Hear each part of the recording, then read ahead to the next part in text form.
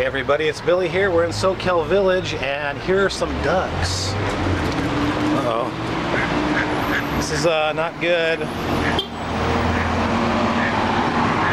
We're gonna help them uh, cross the street here. Over this way, duckies. Crossing the street illegally. You might get a ticket for this. This way, come on. You can do it. Here we are. All right. Come on, duckies. You can do it.